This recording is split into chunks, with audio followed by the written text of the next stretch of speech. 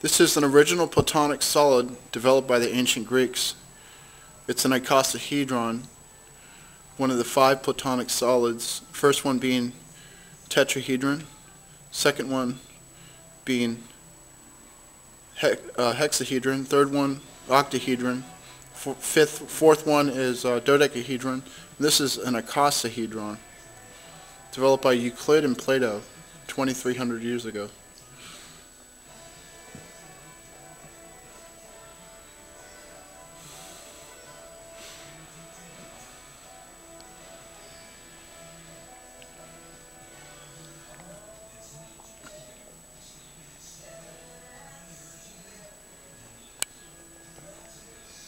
Again, uh, took, this takes 30 sheets of paper individually, and they're all interlocked. See how I messed up a little bit?